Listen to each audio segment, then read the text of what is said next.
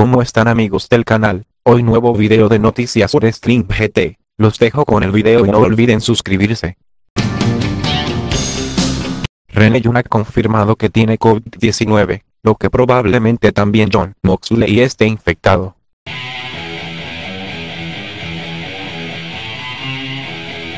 De acuerdo con Wrestling Observer, WWE y Rey Mysterio acordaron que Dominic no pase por NXT. Además WWE también considera que Dominic es lo bastante bueno como para ir directo al main roster.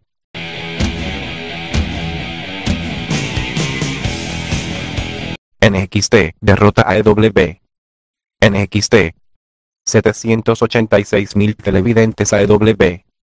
633.000 televidentes esta semana. Hubo una lucha por el campeonato norteamericano en NXT y el ganador se enfrentará al campeón de NXT Adam Cole.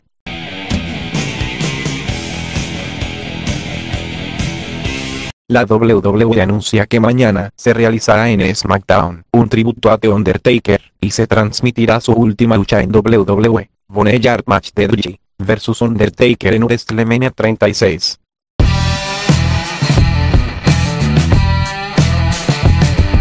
Debido a lo sucedido con el COVID-19 en WWE, este viernes no se transmitirá un programa normal y se pasará un especial de Undertaker. Recordemos que según varias fuentes más de 20 personas estarían contagiadas de COVID-19, incluyendo luchadores, productores, etc.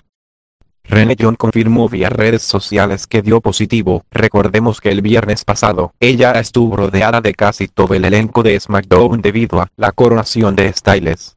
Si deseas apoyar el segundo canal, de Wrestling GT Noticias, te dejo el link del canal o de un video en la descripción y suscríbete. Hasta la próxima con un nuevo video.